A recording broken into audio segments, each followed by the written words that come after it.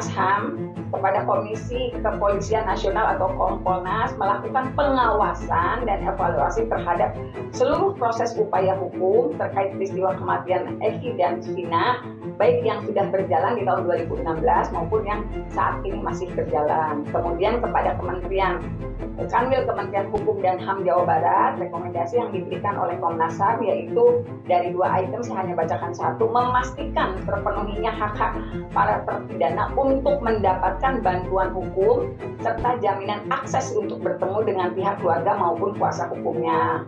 Jadi untuk lengkapnya mungkin bisa dilihat di lawannya lamannya Komnas HAM.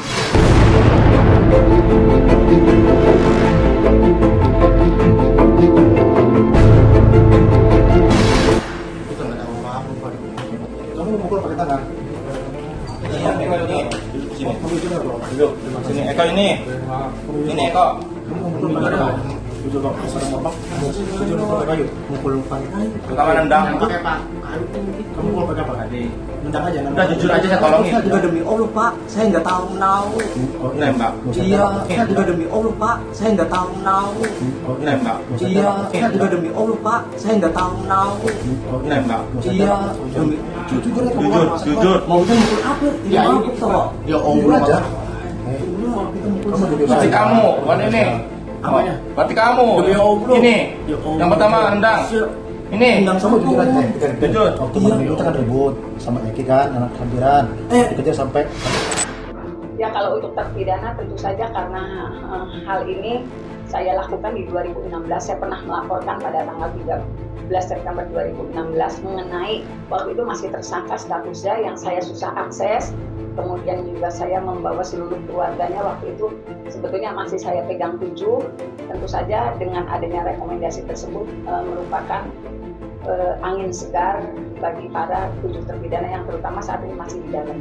Karena dari 2016 saya meyakini betul ada yang salah dari peristiwa di 2016 sedangkan bagi eh, yang dilaporkan tentu saja harapannya Kapolri seperti sesuai dengan rekomendasi dari Komnas HAM eh, saya yakin sebetulnya sudah bergerak eh, tinggal barangkali masyarakat menunggu apa yang akan terjadi di kemudian hari. Itu aja sih kalau untuk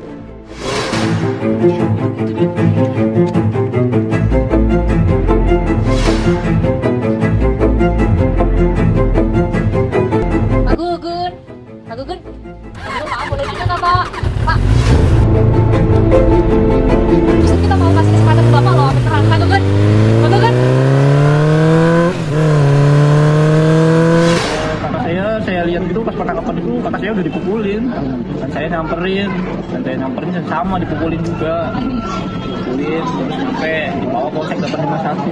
Dapat lima satu suruh jalan bebek dan terus dipukulin lagi sampai malam. Itu saya dipukulin di borgol. Nah sekarang ini sama-sama lepas.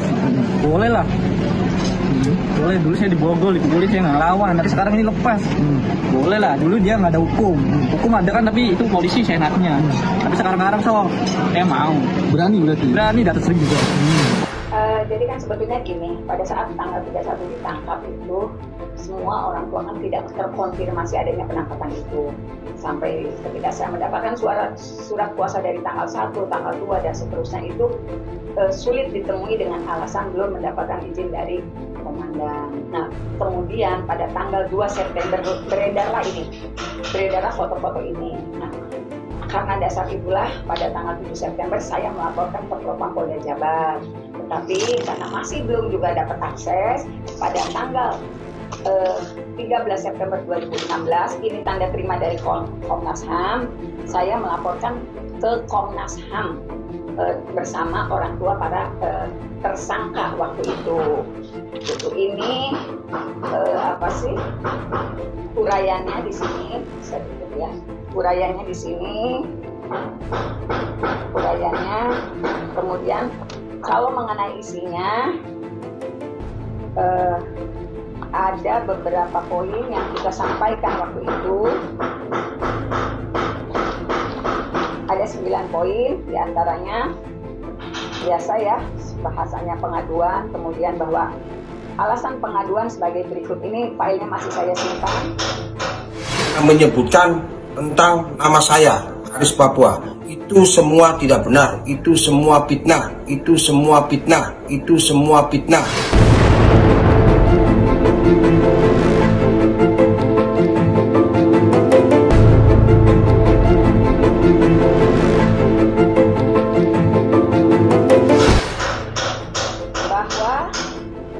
kami selaku kuasa hukum telah menerima kuasa dari para tersangka malam pertama penangkapan yaitu pada hari Rabu tanggal 31 Agustus 2016 dan sebagian tersangka pada keesokan harinya yaitu pada hari Kamis tanggal 1 September dan pada hari Jumat tanggal 2 September sudah menandatangani dengan cara dititipkan gitu bahwa semua eh, bahwa semua surat kuasa yang kami buat semuanya di- dibuat tiga lembar, satu asli, dua fotokopi. Penandatangan surat kuasa dilakukan oleh para tersangka melalui pihak penyidik karena penasehat hukum tidak diperkenankan bertemu dengan para tersangka. Surat kuasa asli dibalikan kepada penyidik. Nah itulah. Kemudian poin tiganya bahwa dikarenakan sejak penangkapan dan sampai saat ini kami tidak pernah diberikan kesempatan bertemu, apalagi mendampingi pemeriksaan yang padahal menurut Undang-Undang Nomor 8 Tahun 81 tentang Kitab Undang-Undang Hukum Pidana telah mengatur. Di sini disebutkan pasal-pasalnya, pasal 54, pasal 56, pasal 57, pasal 69 disebutkanlah satu-satu. Kemudian poin empatnya bahwa salah satu tersangka masih anak-anak atau di bawah umur. Ini pun sama sekali tidak pernah bisa bertemu, apalagi mendampingi pemeriksaan yang eh, padahal menurut Undang-Undang Perlindungan Anak no, eh, nomor 23 tahun 2002 pasal 17 ayat 1 telah mengatur bahwa pemeriksaan terhadap anak wajib didampingi penasehat hukum kemudian juga disebutkan di pasal 64, kemudian ayat 2, semua kita sampaikan dalam uraian di Komnas HAM. Kemudian poin kelimanya, bahwa kami dan juga keluarga tersangka tidak dapat dipertemukan dengan para tersangka yang ditahan di Polres Kota Cirebon sejak ditangkap tanggal 31 Agustus 2016 sampai 3 September 2016. Dari dipindahkan ke Polda Bandung tanggal 3 eh, September kemudian diadukan membuat pengaduan pada tanggal 13 September. Alasan penyidik perkaranya masih dalam tahap pemeriksaan. Padahal menurut undang-undang UHAP telah mengatur bahwa seseorang ditetapkan jadi tersangka minimal dengan dua bukti. Yang seperti tertulis dalam pasal 17 penangkapan dilakukan terhadap seorang diduga keras melakukan tindak pidana berdasarkan bukti permulaan cukup yang artinya penetapan itu masih tidak cukup bukti gitu karena penyidik mengatakan masih dalam tahap pemeriksaan. Kemudian poin enamnya bahwa dugaan penyidik belum mendapatkan bukti yang cukup tersebut semakin menguat setelah adanya gambar foto.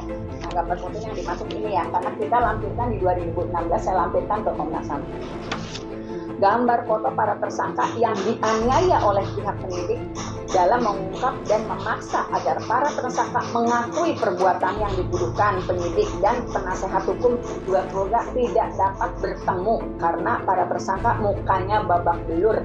Perlakuan ini bertentangan dengan Undang-Undang KUHAP atau KUHP. Saya sampaikan di poin 6 pada saat melaporkan ke Komnas HAM di 2016. Kemudian poin tujuhnya bahwa ada sebagian keluarga tersangka yang melihat langsung sewaktu para tersangka dianiaya oleh penyidik dengan cara dipukul, ditendang, disetrum untuk adanya pengakuan sesuai dengan keinginan penyidik.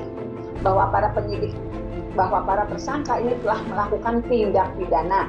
Akan tetapi sampai saat ini mereka tidak mengakui telah melakukan kejahatan tersebut karena nyatanya tidak melakukan kejahatan tersebut. Jadi ini yang saya sampaikan di 2016. Poin ke-8-nya bahwa mereka tidak melakukan kejahatan tersebut telah menelepon keluarga dan menyatakan tidak pernah melakukan. Akan tetapi eh, akan tetapi dipaksa terus oleh penyidik agar mengakui perbuatan yang dituduhkan dan para tersangka mempunyai alibi dengan banyak eh, saksi-saksi. Nah, kenapa ada di antara tersangka yang waktu itu bisa menelpon ke keluarga dan menyatakan mereka itu? Karena terkonfirmasi kok bisa kamu bisa telepon? Waktu itu setelahnya ada polisi yang memberikan meminjamkan handphonenya diam-diam sehingga ada tersangka yang bisa bercerita dan tidak pernah melakukan perbuatannya itu. Jadi semua eh, mereka tidak pegang handphone tetapi diam-diam ada seorang yang memberi, memberikan pinjaman handphone di, di 2016 itu. Kemudian bahwa para saksi yang mengetahui keberadaan para tersangka yang dituduh melakukan penganiayaan sesuai yang dituduhkan polisi pada tanggal 27 Agustus 2016 malam minggu sekitar jam 23 ada di sebelah rumah Bapak Ketua RT 02 RW 10 di bagian depan atau rumah atau di teras. Nah ini yang kaitan dengan pasien. Jadi ini saya tanda tangani di eh, 16 September 2016. Ke 13 September 2016. Kemudian eh, dia ketemu jam 2 terus jatuh jam kalau nggak salah jam 4 4 sore ya 4 sore ditelepon sama Aib ini ada anak-anaknya ada situ kalau mau tanya-tanya. Jadi mereka belum tahu nih. Terus akhirnya datang terus mereka tanya-tanya sedikit diamankan. Nggak ditangkap kamu diamankan katanya. Kamu beda nggak? Ya beda. Apa beda ditangkap sama diamankan? Kalau diamankannya ibaratnya kan udah dipukulin oh terus dipukulin. apalagi? Orang itu mah langsung disiksa. Orang itu mah langsung disiksa. Orang itu mah langsung disiksa untuk supaya untuk interogasi kan? Diamankan itu baik-baik ya bro baik-baik. Apa ulang-ulang juga remuk Buang laku aja nggak bisa jalan. Buang laku aja nggak bisa jalan. Buang laku aja nggak bisa jalan. Pada bulan Januari 2017 Komnas HAM berkirim surat lah ke Irwasda Polda Jabar.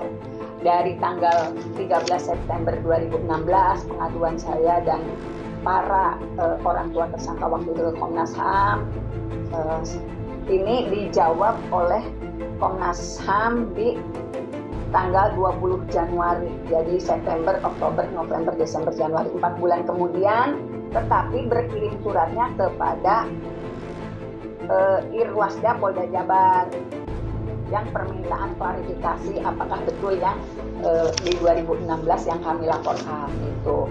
Tetapi setelah itu memang tidak ada informasi apa pun sampai anak-anak di persidangan dan jatuhlah vonis uh, seumur hidup bagi tujuh terpidana. Nah, pada bulan Mei setelah viral, uh, kemudian saya menyampaikan di media bahwa sebetulnya pada 2016 tanggal 13 September 2016 selaku kuasa hukum waktu itu masih tujuh, uh, saya sudah melaporkan ke Komnas HAM namun tidak pernah ada jawaban.